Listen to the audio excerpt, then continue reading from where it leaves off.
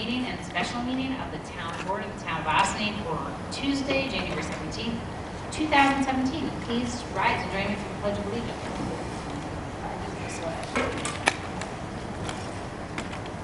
I pledge allegiance to the flag of the United States of America and to the republic for which it stands, one nation, under God, indivisible, with liberty and justice for all. Great. So we have a couple of items on our agenda for this evening, and we are going to begin with a short presentation from Samantha Epstein, I got the pronunciation right, from Hudson River Sloop Clearwater, who will be sharing some information with us about an excellent program that they're offering to bring to the Ossining waterfront free of charge to our residents and to the town. After Samantha's presentation, we will move into the special meeting portion of the evening to re-enter the public hearing on local law number one of 2017. As a reminder, we opened this public hearing on Tuesday, January 10th, and we plan to leave it open for several weeks after tonight as well. We are pleased that neighbors who live in the areas in which some of these zoning amendments would impact um, most took the time to address the board last week about their concerns, and we hope that um, everybody will continue um, to come speak to us, write to us, so that we can gain valuable feedback from the town residents, property owners, and businesses um, to make the best decisions about how these changes can have the most positive impact moving forward. For those of you who have contacted me about the zoning changes via email, your comments have been added to the record. And for those who still wish to be heard on this topic, you can join us at the town board meeting on Tuesday, January 24th, um, at the courthouse on Spring Street, although we may be moving that to the, uh, Village Town Hall, um, so stay tuned for that. You can also email me at dlevenberg@townofossining.com to have your comments included. I have a few quick announcements before we begin. This coming weekend, Theater O will present a five-show run of Snow Angel at the Brandon Furniture Store, a new venue, on 173 North Highland Avenue. The chance to see this exciting show, directed by our own Jessica Irons in an innovative space, is something um, to really look forward to. Tickets are available at www.theater, T-H-E-A-T-E-R-O, as many of you have visited the new DeCicco's in Millwood may have noticed, the town of New Castle has banned plastic bags effective January 1st, 2017. The Croton Climate Initiative will be screening the documentary Bag It on Thursday, January 19th at the Croton Free Library at 6:30 PM.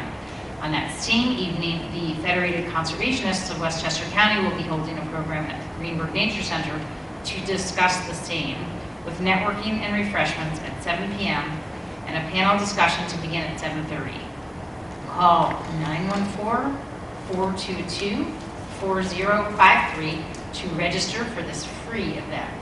Many residents have suggested we find a way to ban the bag in Ossining. Do you agree? Check out this screening to learn more, and then let us know if you would support similar legislation in the town of Ossining. I also encourage you to mark your calendars for some great events next week, beginning with the first presentation of 2017 of the Ossining Documentary and Discussion Series on Thursday, January 26th, right here in this theater, the Budarz Theater at Ossining Public Library at 6:30 PM. The documentary for the, this month is Lives for Sale, a look into the black market trade of undocumented immigrants. Although a disturbing subject for sure, I anticipate a thoughtful discussion about the national conversation on undocumented immigration and perhaps a clearer understanding of what is really at risk. On Saturday, January 28th, Ossining Recreation and Parks, along with Balada House, Ossining Elks, Ossining Rotary, and Janet Grand of Houlihan Lawrence will sponsor Ossining Family Fun Night. The first 150 youth tickets are free, and transportation is available but limited. So make sure to stop by the community center at 95 Broadway to get your tickets soon and learn more about this fun night out with friends. And that is it for my quick announcements. I know everyone's eager to get on with the meeting, so without further ado, Samantha, would you please join us up here at the podium? And I think you have a presentation. Fantastic. Thanks so much for coming out tonight on this very rainy and chilly night.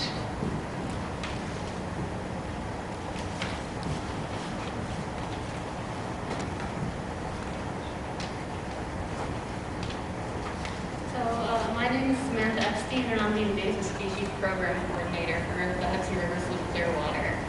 I run the, yes, absolutely.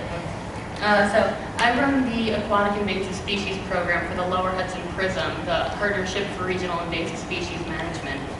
The goal of the PRISM is to prevent the spread of new invasive species into the uh, Hudson Valley.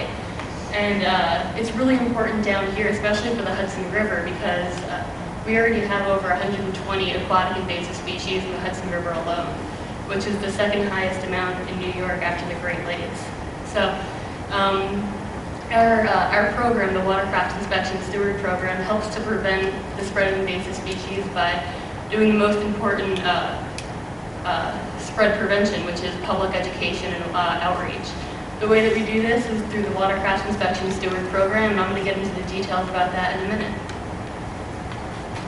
So the goal of our program is a little bit different than the ones that you'll find across the state. So let's say in the Adirondacks, they only have maybe five invasive species in their most infested waterway compared to our 120.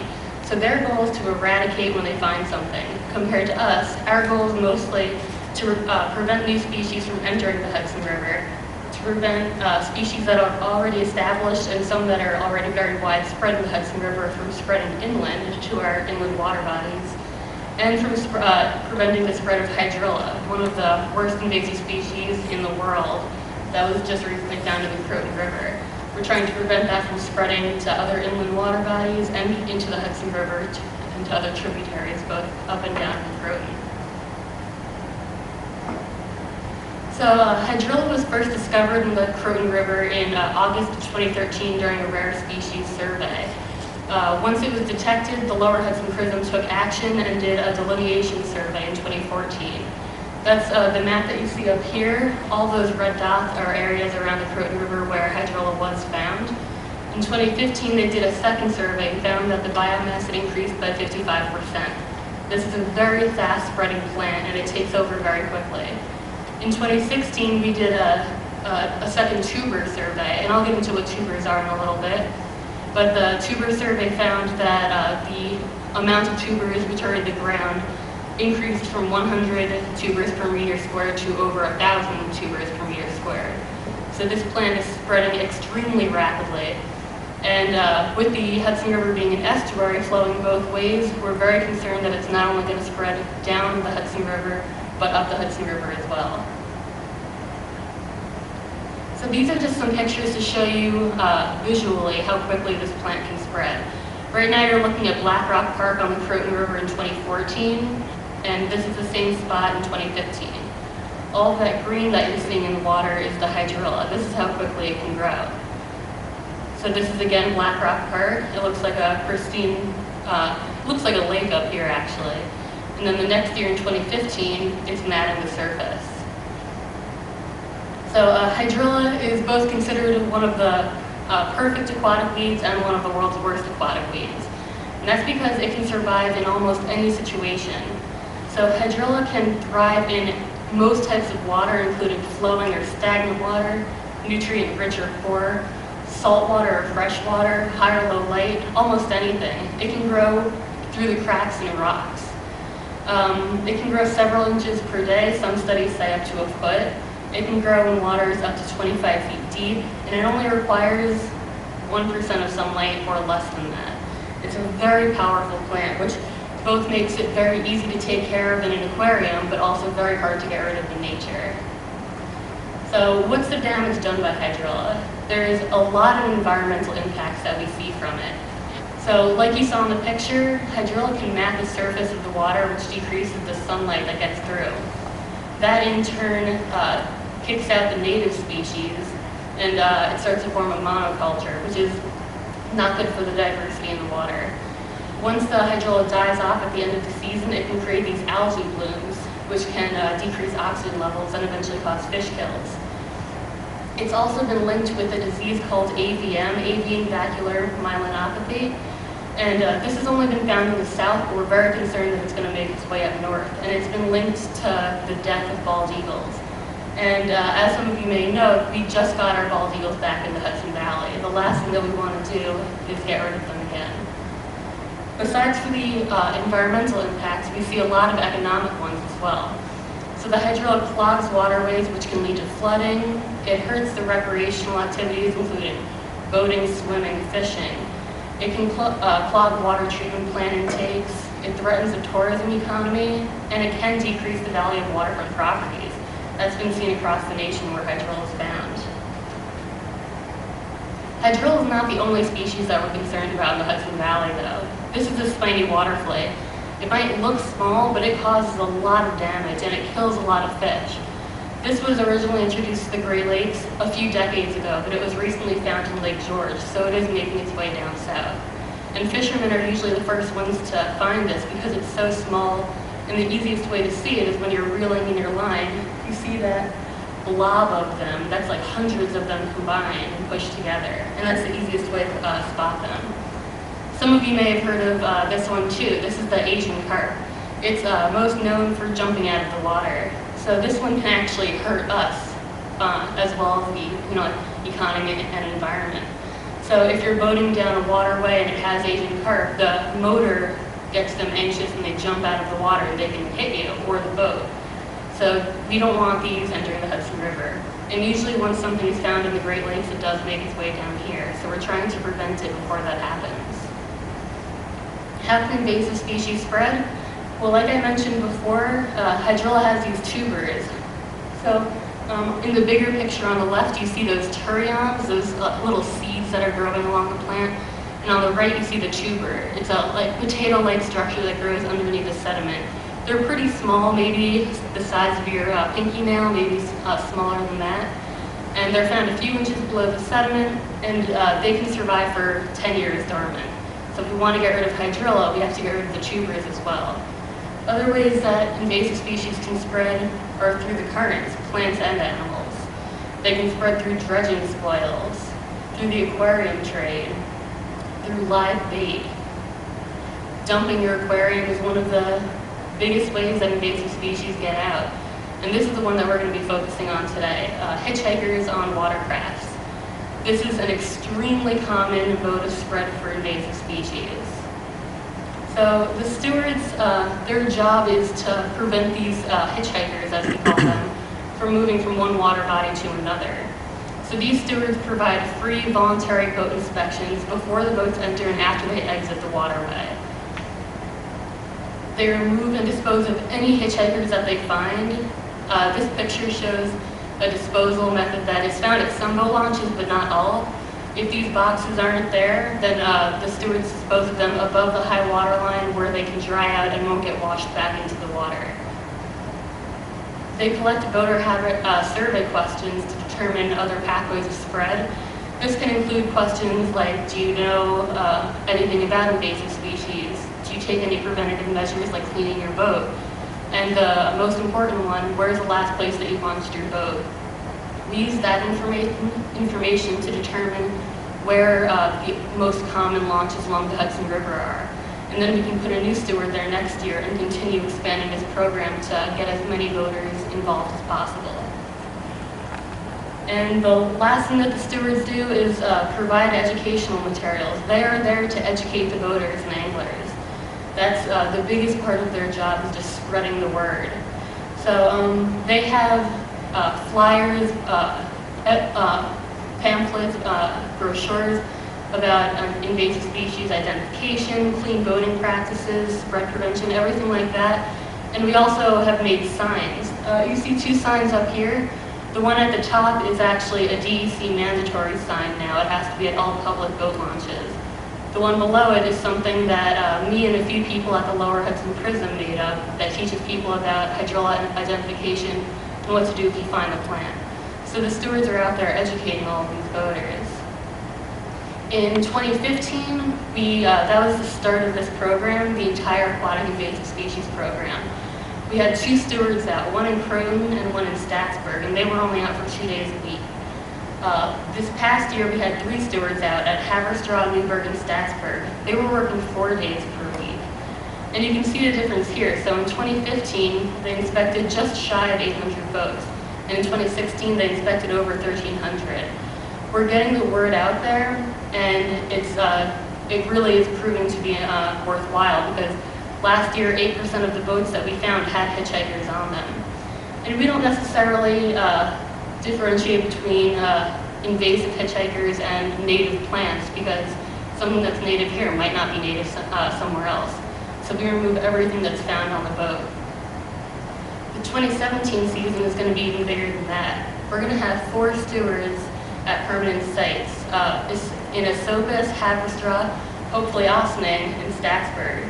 We're also going to have uh, two stewards that are uh, traveling stewards. They're going to be working, uh, one of them is going to be in Croton, switching between the Echo launch and the Senasqua launch, and the other one will be in Saugerties. And uh, there are two launches up there that they're going to be switching between. So uh, this is an, invas- an invasion curve, and it shows you where public awareness typically begins. You'll find that it's uh, in the middle of the curve near eradication is unlikely. We're trying to educate people before we get to that point because it is still possible to eradicate the hydrilla, and we definitely don't want it spreading further into the Hudson River. So the stewards will be educating boaters, anglers, everybody that they come by, and spreading the word about invasive species management and spread prevention. And if you have any questions, you can feel free to contact me here. And that's all I have. Any questions? Do you guys have any questions, my board colleagues? I'll open up to any public questions. Um, You want to use the microphone? yeah, one is a struck Are you going to be, um, watching both the boat ranch launch, boat launch ramp and the beach? Because a lot of kayakers launch kayaks all over the area, and they are launching from the beach in Ossining, as well as the launch ramp where the regular boats and some kayaks launch. Absolutely. I wasn't actually aware that there was a beach that people can launch from. But um, if that's heavily used also, then we will definitely put our steward there also. They would probably spend uh, half their time at the main launch and half their time at the, uh, at the beach to try and reach as many people as possible. They'd be able to see the kayakers going, Oh, Bye. fantastic. That'd be even they could probably cover both. Yeah, absolutely. And um, I found a new invasive mussel this year, so I don't know if you've seen that one yet. I did send the photos out. Oh, which mussel is it? The Asian saltwater one. The clam? Nope, The mussel. Asian- The Asian? I have a picture. All right, let me see that after. Okay. Thank you. I I just have one question. Where did this come from? Hydrilla? Yeah. There are two types of hydrilla. Uh, the dioecious, which is found in the south, came from uh, Asia, just a lot of places in Asia. The one From that- Asia? Yeah. The one that we have in the north, the monoecious hydrilla, came specifically from Korea. And we're not actually sure how that one got into the United States. We do know that hydrilla uh, in the south was first found in Florida. It was most likely dumped from an aquarium. A lot of people think that uh, if you don't want your uh, plants or animals anymore, that you're better off putting them in a new area instead of killing them. But that causes all different sorts of problems, and that's what happened with the hydrilla. Now it's found in over 70% of their water bodies. Thank you. Now I thank you for doing all the hard work and all the information that you just provided us, and I, I mean, I, I can't see why we would not want someone to be at our, you know, overseeing and educating and helping and whatever else that I think the public can do to help, um, hopefully get to a place where it eradicates. I'm sure we'd be happy to help and do. Thank you very much. Great presentation. Will you be working with the private yacht clubs too? Or Um, Yeah, I've been trying to reach out to more and more of them. I do a lot of uh, presentations for them, but I don't really have uh, stewards out there. And that's mainly just because of funding. Um, The first year, we did only have funding for two stewards, and we've been able to stretch that more and more. But um, hopefully, over time, we will have more, uh, more stewards at places like yacht clubs. Okay, thank you. Absolutely. I wonder if you could make presentations to some of the boat clubs jointly, and then they could train, like, train the trainer kind of thing. They haven't already been trained and don't already. One of the things I wanted to mention is that I met Samantha at uh, the DEC um, public hearing, I don't know, about uh, the Croton River, when they were specifically talking about um, ways of- that they're going to be dealing with hydrilla, and they haven't really figured it out yet. They had one plan that they were going to go with, that, that, which they ended up having to stop because of an algal bloom um, this past summer, but then um, they now have a new uh, approach, I think, that they want to take that's even more effective, that they tried in, I think it was Tennessee, that, do you remember where that was, that they were saying that, that other, Um, I don't remember the spot that they were talking about, but the herbicide treatments that they were talking about have been done all over the place. Uh, Right. clo- uh, Most closely, I think, is uh, Ithaca, New York. where it was, a- wait, but it was a different herbicide that they were planning to use than the original one before. Yes, they- yeah. Uh, Originally, they were going to do endothall, which is a contact herbicide. It kills the plant once it uh, touches it. Now they're going to be using the systemic fluridone. Right. Uh, Both of those were used in Ithaca. I- I'm not sure where the other one might have been. It might have been Tennessee. So it's, a- it was, a- it was, it's a very, very low dosage though that's, um, very, very, very low, but they're still looking into it and I think that the DEP hasn't weighed in yet about it and they're waiting to hear from the E DEP. Just one, one more thing, I just happened to, to remember about, I guess thirty years ago, I had a, an, uh, uh, an aquarium, aquarium in my house.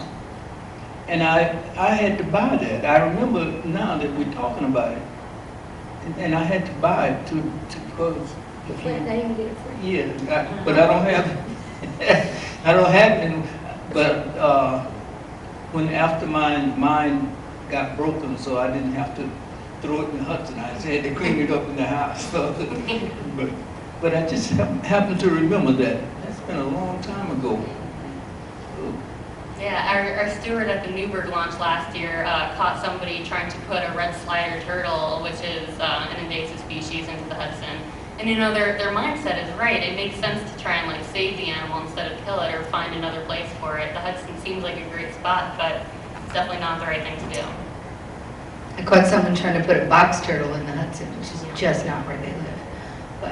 Um, you might reach out to the Ossining High School Environmental Club. There might be kids that are willing, or, you know, a group, either there's Ossining groups of kids who are learning about the waterways and environment and doing eel counts and things already and um, testing for E. coli. So there are groups watching this area's waterways run through the high school and another group um, that you might reach out to, and they might be able to help you stretch by giving you alternate people to help talk. Yeah, that's fantastic. Thank you. That's one of the reasons I like to do presentations like this is I get ideas from you guys.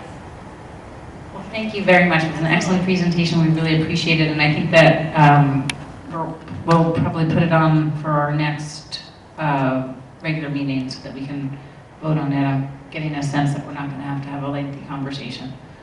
Fantastic. Okay, thank you. Thank you. Okay. So now I would like, to- oh, I'm sorry, I forgot to open up the public. Is there anybody in the public who want to talk about um, the subject? Okay, hearing and none. Anybody over there have anything to say? Okay, I'll let you say, say what you want. Thanks again, Samantha. Okay.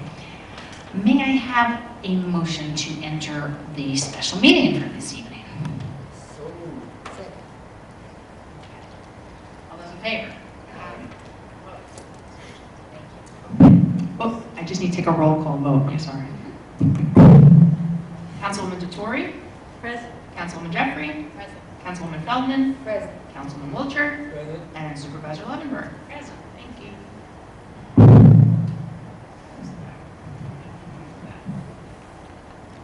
just tell me if you can. I'm sorry. Okay. I know it seemed, it was super loud now. It doesn't seem like anything, but let's see what happens. Okay, so as I mentioned earlier, this is a continuation of the public hearing on local law number one. We are joined tonight by our planning consultant, David Stolman. I'm I'm sorry to interrupt. Could, could you, could we just have a motion? to I'm sorry. Continue the public hearing. Okay, sure. Can I have a motion to continue the public hearing? So moved. Second? All those in favor? Aye. Opposed? Abstentions? Okay. So now we're officially continuing the public hearing, in case you thought we weren't.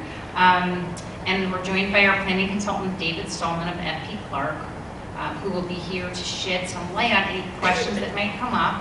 And I wanted to just uh, remind everybody that um, going to have a time limit, but since we don't have a large audience tonight, we probably won't need a time limit. So I'm going to let um, the small audience that we have here uh, speak.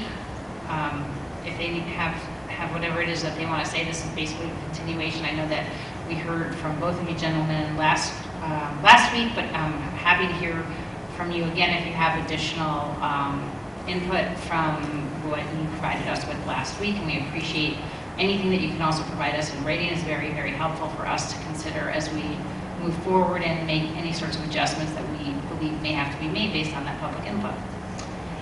So without further ado, if anybody wants to come up, you can just uh, grab that microphone over there, I guess. Is that what we're going to do? Okay? Um, And continue talking about our local law number one. Good evening Supervisor and members of the board. Thanks for hearing us again. Um, Just, You just say your name and. oh, I'm sorry, and Bruce Fiorito, um, 39 Old Albany Post Road, distressed property I just purchased, and what's my property.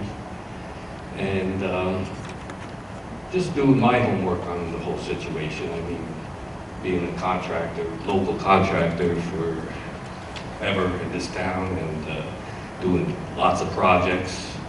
As a sideline, I've built 17 houses on my own. I've done numerous condos. I did the last three phases of Liberty Knoll. I mean, extensive building and knowledge of the area.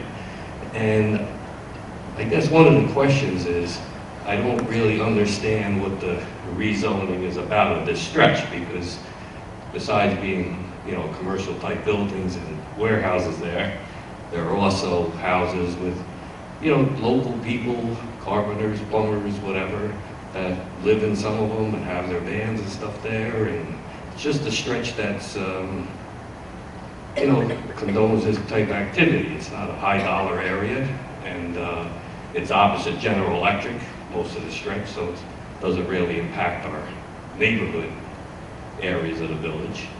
And, um, just, uh, a little unclear why the whole thing came about to begin with. Dave, do you want to, want to talk a little bit maybe about the comprehensive plan and just a tiny bit of background as to how it is that we, um, maybe since you were also you've involved in that comprehensive plan, just a little bit about why residential was something that was originally considered and then maybe, you know, we kind of have segued to this alternative one and alternative two so that we can see um, if we think maybe commercial and residential will have a happy fit there Sure, sure. different. Originally back in, I guess it was probably 2001, there was a fair amount of work done on a new comprehensive plan. And I don't, I'm sort of going this way, I guess I should it this way. Yeah, you can. I used to be on camera, I guess. Um, There was quite a bit of work done, there was a new comprehensive, comprehensive plan that was created. And um, there was a recommendation in that comprehensive plan, the committee and then the town board thought that it might be best for those uses out there, non-residential uses, to be made non-conforming uses or grandfathered uses, and that the Crotonville community, the rest of the residential properties in Crotonville, would rather have Crotonville be entirely residential, as opposed to residential and commercial. Um, If I can speak for this town board, this town board is wanting to talk to the public to find out what the public's point of view is with respect to Crotonville. So that's why we have the two alternatives. Um, It may be that the members of the residents who live out there and the merchants and the commercial property owners would rather the, the area be just the way it is, maybe enhanced. Um, We have added two well, a variety of uses to the NC zone, if the NC zone is to stay out there. Um, So it was really the thought of the committee and the town board in 2002, and then that was um, reaffirmed when the comprehensive plan was updated in 2015. So uh, it's a, it's one way of doing things in alternate one, different way of doing things in alternate two, and it's up to the town board's judgment as to, based upon comments that are made from the public, as to which way to go.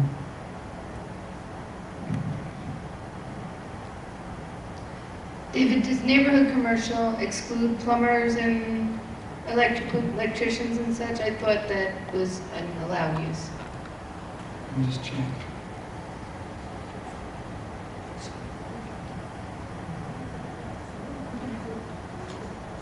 check. Well, business and, business, professional, and governmental offices are permitted currently. So that includes plumbers, electricians, Well, the office part of the operation would certainly be permitted. To have a contractor's yard is not permitted currently, nor would it be permitted under the proposed NC. define contractor's yard? Um, equipment, trucks, So a plumber could park his van, or an electrician could park his van next to his house or his business, but he couldn't have big equipment. right, Okay, I'm just trying to understand the equipment distinction. and materials, that kind of thing, No piles of materials, okay, I get that. right. But currently, um, a contractor could certainly have his office there. And in the proposed NC zone, that would be the same. Okay, but they could park their van outside their office. Sure. Okay, just clarifying. I, I have one thing to, uh, to, to say, Mr. Fiorito. It's, uh, we don't always agree on the board.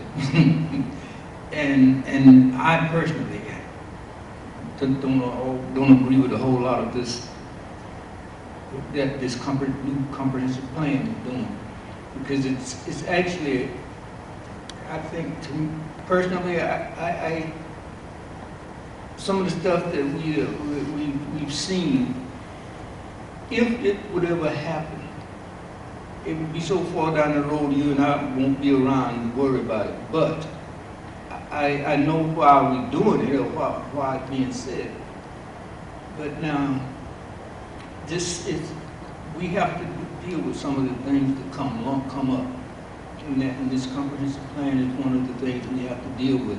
But again, I say, we don't always agree on things. Because I, I have to tell you, I do not agree with a lot of what's, what's in this thing now. But when it comes to the, uh, down to what we have to vote on and what we have to do, I, I do what I believe is best for it. But I, I can understand your concern. I just wanted to let you know that somebody's on your side too. I just like to reiterate that this is a process. It isn't, we haven't made a a final determination. This is really, the public hearing is the start of the public input part of the process. And as I've mentioned before, this isn't like a fait accompli, it's not done. This is a part where we, again, you mentioned this new comprehensive plan. There is no new comprehensive plan uh, at this moment. What there is is a comprehensive plan that was in place and didn't have code to match it. So we kind of said, well, okay, let's just take a look back and see what was in, what was in the thinking process. Because the town, uh, previous town board spent a lot of time and did engage the public in conversations about planning for the future for, for some of the spaces, um, including Crotonville. And one of the, I believe one of the objectives was, as Mr. Stolman mentioned, to bring it back to residential. But as part of the conversations that we've been having in our work session, we kind of been questioning, should it really be residential? Are there other ways that we can kind of um, still address what we believe were the intentions of the crafters of the comprehensive plan and, you know, be forward thinking and maybe bring us into the, you know, 21st century, even though that's when that originally was written. So just, just to kind of, again, put it in context, this is a process, it's not a done deal. Um, I think, you know, to say somebody agrees or doesn't agree at this point is not really relevant because we're not really at a point when we're deciding what we're doing except for just kind of listening and getting input. So I'm hoping that we're going to continue to listen and get input and we appreciate yours. And I know that we've gotten some additional information in writing based on some of the folks who came out to the public hearing last week, and I anticipate we will continue to do that. And then we're gonna give that back to our planner and say, okay, well, we had, you know, alternative one, alternative two. Do we need to tweak one? Do we throw one out? Do we, do we take them? Do we throw them both out? Do we take some of the good and some of the bad? It's very helpful to have your input.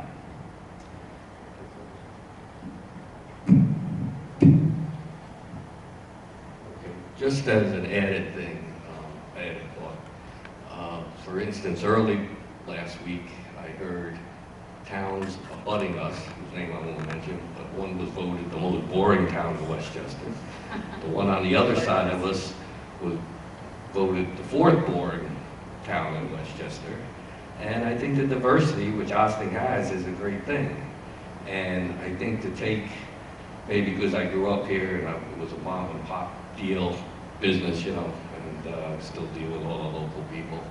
And uh, to take all the business out of your backyard, and this is a good area for it, because it's right next to Route 9. It's not through the middle of town. Now, right past these properties, there's, you know, a magnificent development, water view up on the hill, which is great houses and things like this. But this particular area, you know, I think you could zone it to anything you want. I don't know if it would ever really change the character of that little stretch, because there's so many people grandfathered in anyway. But um, I just think we need a little section of town where you can still have local businesses in your town, not calling them from way out of town to come in to- for the services that they offer.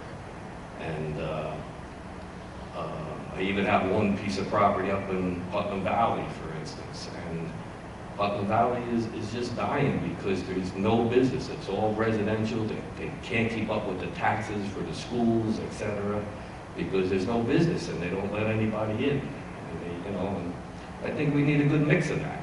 And uh, I think it's, uh, makes it, Ossining a very interesting place. I think Ossining has great, you know, different cultures, different people. I grew up in this town and I think it has a lot to offer.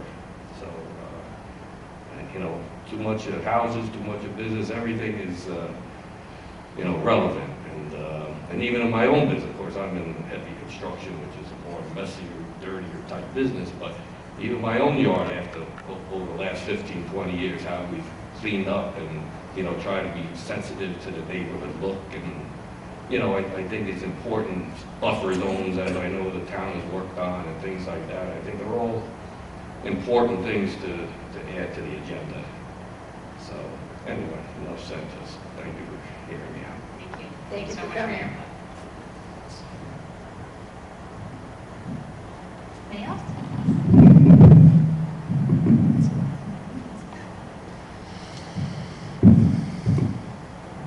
Just slipping in to your name in it. Hello, I'm Kevin Coral, 35 Old Albany Post Road. I, I kind of agree with Bruce, I'm not going to hit on the topics he hit on. I'm definitely opposed to any zoning change.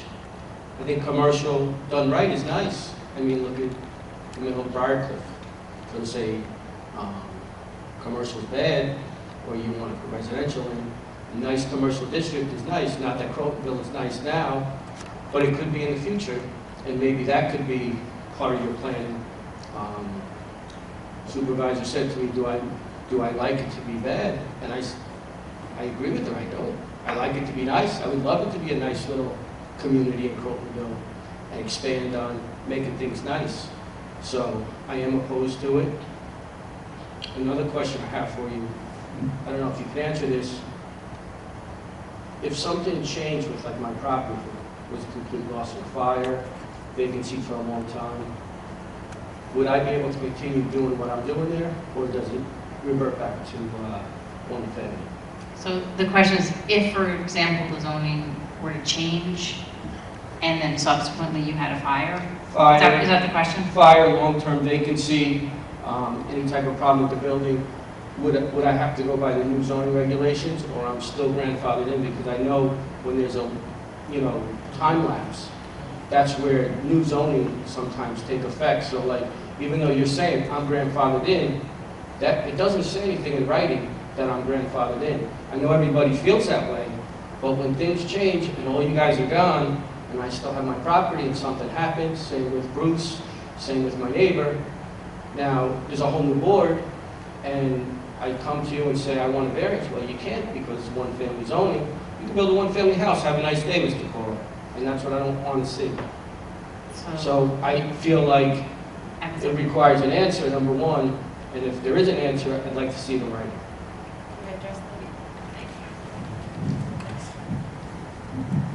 So I can't speak to the actual provisions of the code because I don't know it all by heart and I haven't looked at it. Um, I certainly can look into your question because it's obviously a very relevant one. Um, most codes do have a provision that deals with lapsing. And so if for some reason the use of your property did stop being used in that grandfather capacity for a certain period of time, there is a likelihood based upon many codes. I, I believe Ossining does have a lapse provision and I can certainly look into that. Um, in which case, yes, you, would- the use would no longer be permitted and you would have to um, abide by the zoning as, as it would be changed, or you would have to get a variance, which, um, but in terms of time and boards, um, it's really a matter of what's in your file. And so if you have a C of O, or if you have, um, it'll say what your permitted use is now. So whether this is a different board or they're different members of the zoning board in the future shouldn't really matter. It would be, um, for instance, the example you gave of if you, if there was a fire. And that's another provision that some codes say, if, if it's more than 50% destroyed, you may not be able to rebuild for that same use. Uh, Again, that's, Excuse me, I, I looked through the code, Okay. I haven't found it. Okay. I, I would just appreciate if you do have that answer, and it's in writing, because that's all they go by. When something happens, I know, but we can't talk off camera. I'm sorry. We can't hear. So if- Okay. why don't you take this one and That's okay. just one quick question. I, I would just like to see where it says it in the code, because, you know, we could say here all day that it might be, it could be this, it has to be in black and white, otherwise it means nothing. So I, I, if you could just send that to me, or, you know, that'd be great. if it's,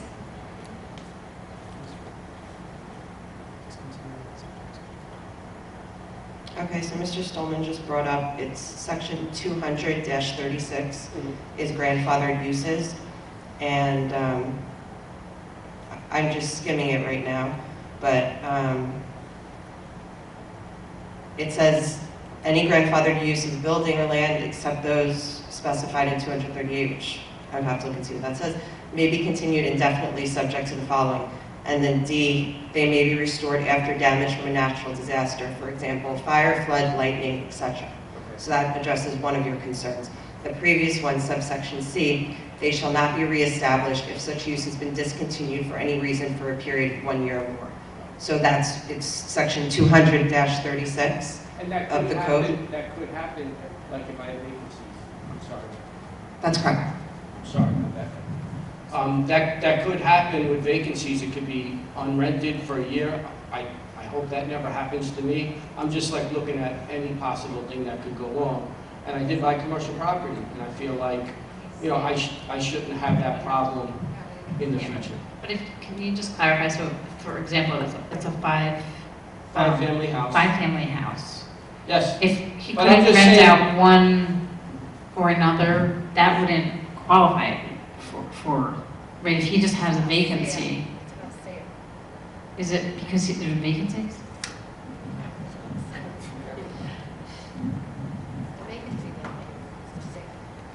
Yeah, as long as the, the multifamily use continues, that's the use of the property, and it's that multifamily pre-existing non-conforming use, that's what's permitted. So it's, it stopped being used in that capacity for a period of a year, then the use would lapse.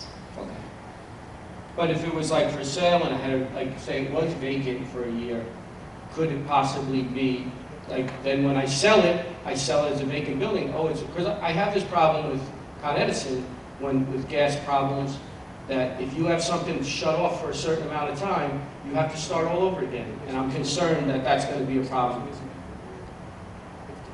a non-conforming use in both zones. Okay, um, Mr. Stolman is saying that right now it's a pre-existing non-conforming use? Right. So this, this concept would apply regardless of whether the property is zoned, is rezoned. The way your property exists now, But I stand a chance in a neighborhood commercial, if I went for a variance for anything now, if you made it one-family residential, I don't stand a chance. So that's all, I just want to clarify those few things. And uh, you did clarify it with the fire, and as far as, I'm probably never going to have a vacancy.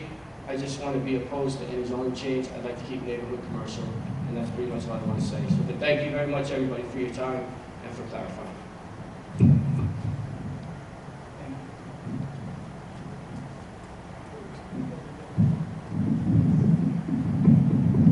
David, neighborhood commercial allowed multifamily? No, Okay. we were talking about allowing mixed use, which is non-residential below and residential above. But neighborhood commercial right now does not permit a five-family home, doesn't permit any wholly residential development. What about general business? General business doesn't either. Oh, GB1? No, that doesn't either. So the current, yeah, the current zoning, again, This- again, This is a non-conforming use. It's a non-conforming the current use. zone and in the proposed zone as well.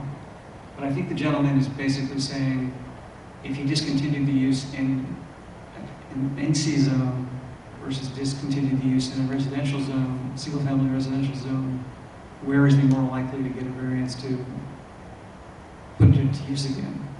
I'm still not sure that I can figure that out since it is residential. I don't, I mean, I There- think we're. There's, Sorry about that.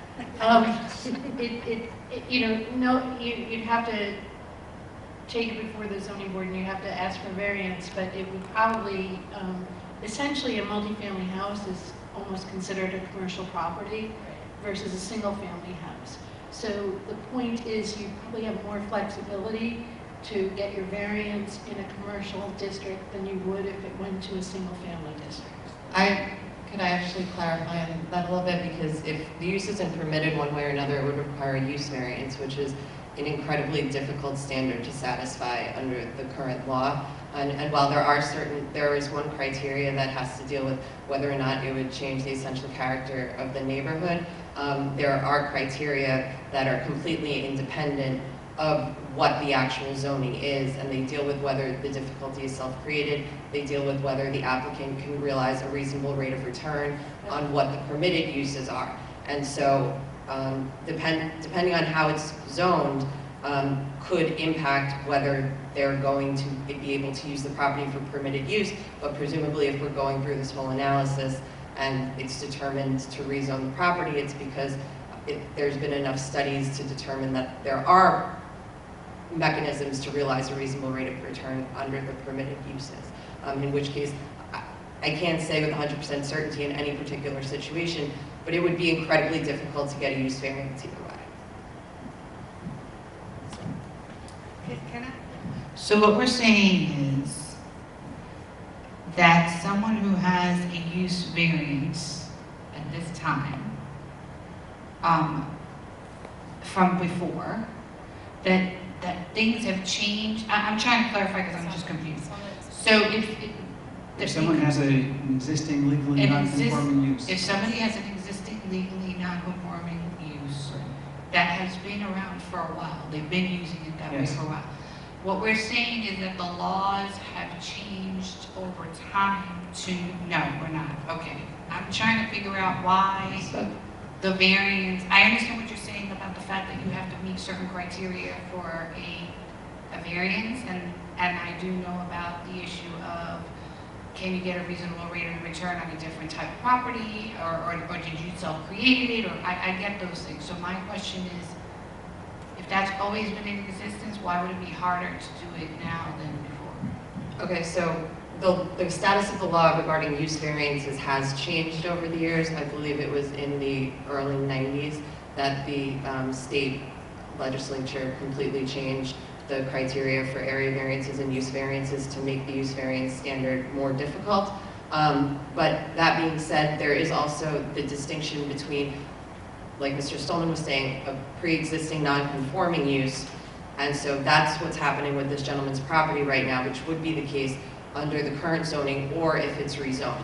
Um, I think the hypothetical we're, we're contemplating is what would happen if one of the lapse provisions that are in the zoning code occurred whereby the scenario is that the building is vacant for more than a year, which is the term in the code, at which point the property would then have to comply with the new zoning.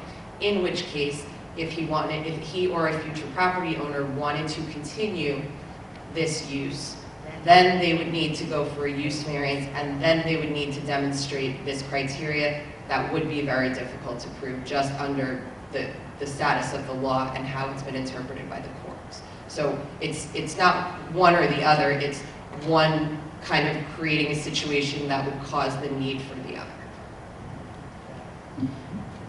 My question for, for further consideration, I guess, to the board.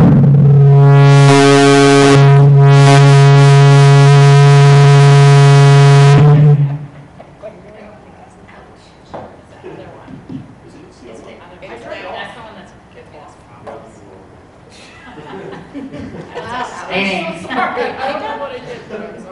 I guess my question would be up for discussion is, we have a rental property, you know, residential in a, in a community that we were discussing to have residential in it, even though it's commercial property, if it's in fact still serving the purpose, is that against or for what we were believed was ultimately the objective of the comp plan and what we were trying to now interpret in the code.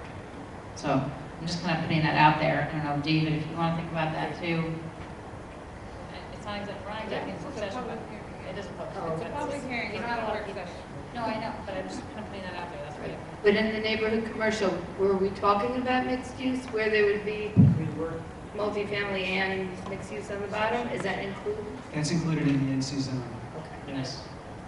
So it is a matter of striking a balance between what's best for the town as a whole, what's best for the Crotonville area by itself, uh, what the vision of the town is for that area going out 10, 20, 30, 40 years, and balancing that with individual property rights and uh, the voices that you're hearing from the public who own property out there.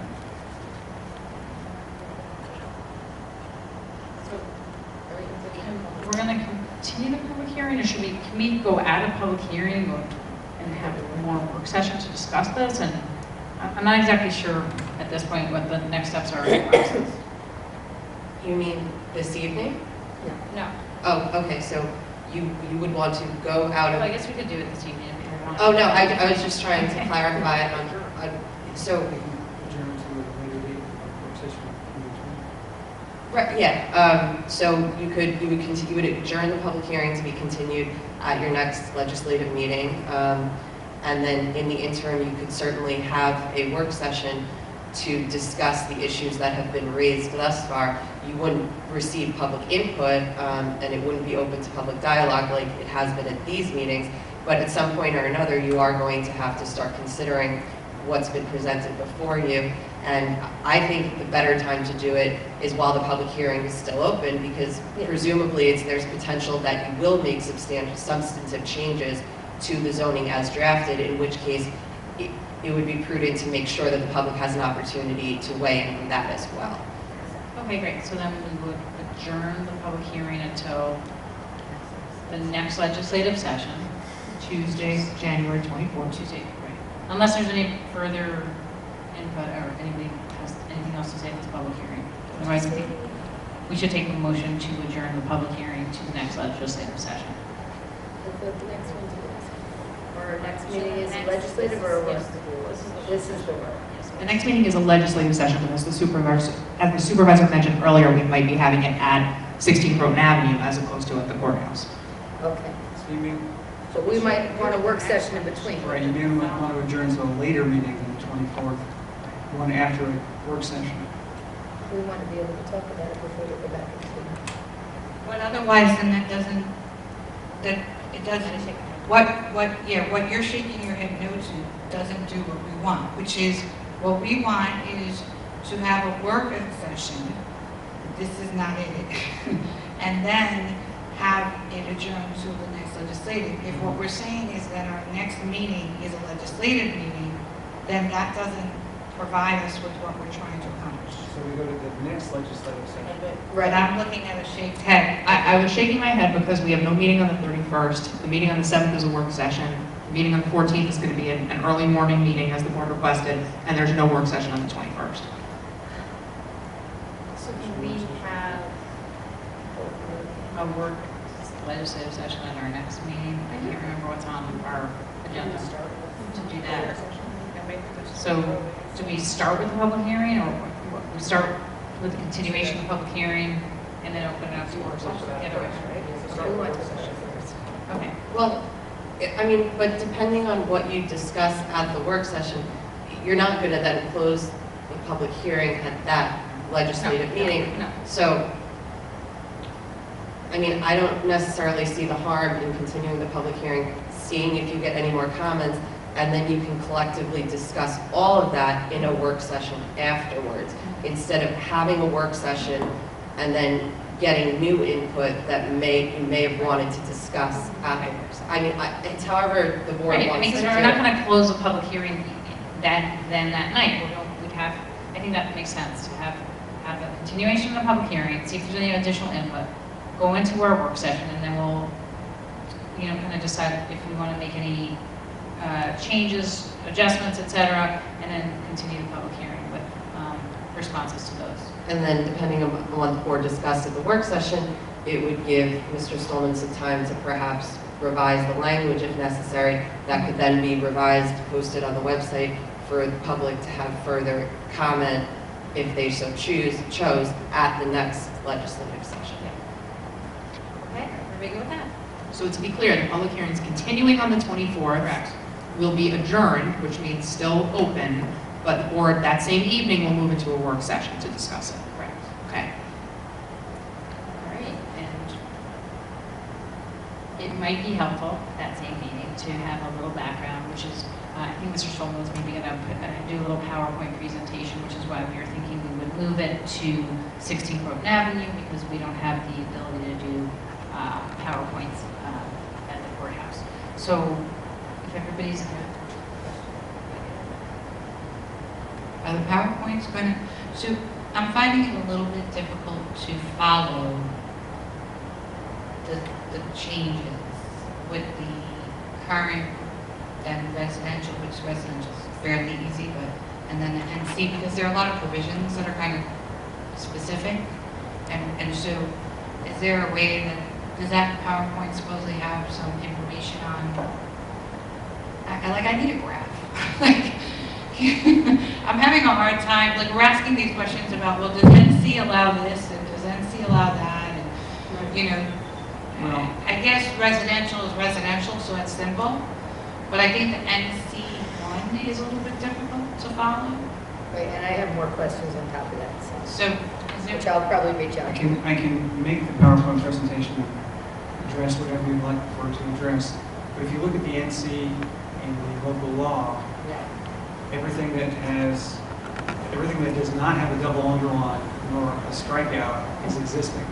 yeah, and I have it up on my phone, which was, I was looking for it, but I, I, it- it, it just visually is difficult. So, so maybe what we could do is have sort of like a before and after, you know, potential before and after, so, you know, this is existing, proposed in a way that's easy for people to follow. Um, I think it'd be harder to have them side by side.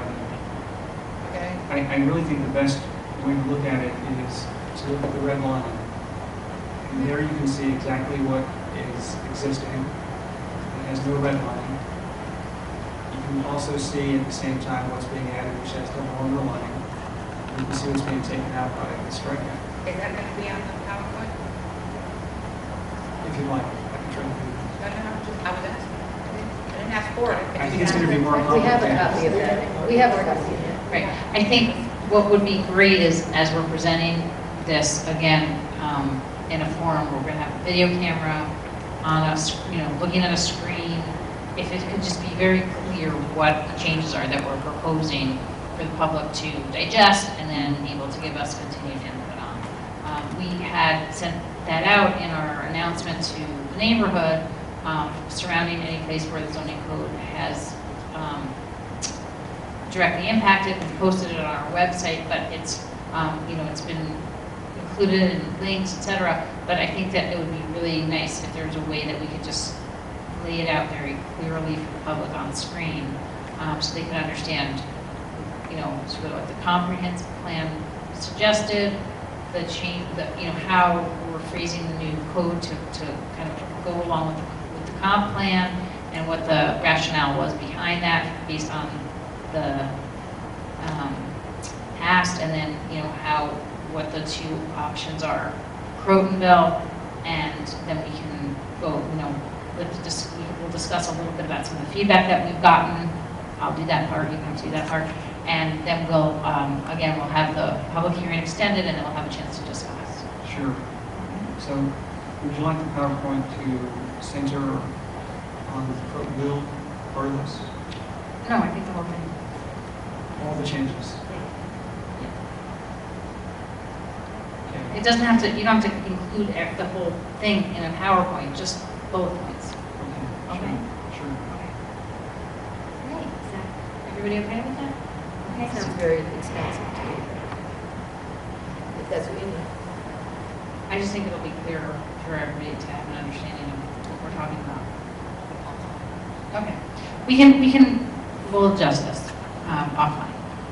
So, all right, so without further ado, I think we had a motion to adjourn the public hearing until Tuesday, January 24th. I don't think we voted, so we had a motion and a second. All those in favor? Aye. Okay, so thank you, everyone. I hope that you will join us at our next town board meeting, which is a legislative meeting, but we will also have extension of this public hearing on January 24th. Hopeful to be at 16 Croton Avenue. We will have that, that information out this Friday in um, supervisor's up, um, remark, update, whatever you call it. Neither one of us have a record of who made the motion. Okay, who who- I'm sorry, let's, so let's go back. Can I have a motion to adjourn the public hearing until Tuesday, January 24th? So, second. All those in favor? Thank you. Opposed, abstention, okay, thank you. And we will be hopefully at 16 Croton Avenue. And now if I can have a motion to adjourn into executive session for personnel. So moved. Second. Thank you, everybody, and thank you for your input to the public. We appreciate any additional input, send it our way. We'll see you next Tuesday.